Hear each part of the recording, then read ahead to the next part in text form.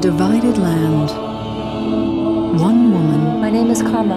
I'm from America. came to expose the injustices of an occupying nation and discovered a man We really appreciate what you're doing. with a story impossible to ignore. You're an inspiration to us. You have to be careful with these guys from Tibet. What are you talking about? I bet he thinks you're a good passport to America. People like him have sacrificed their lives for Tibet. For all of us.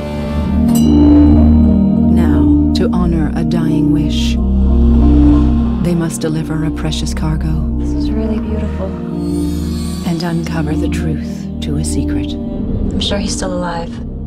You're not thinking of going to Delhi, are you? that will take them on a journey I really want to know what happens. Don't you have to get back to New York? deep into the heart I'll decide what I have to do. of a displaced people.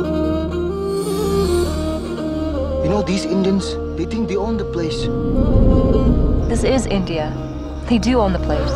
We're the ones who don't belong.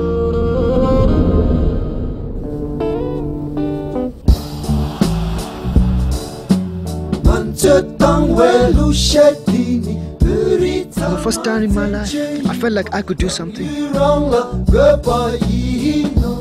more I learn about Tibet, the more I feel like a complete stranger.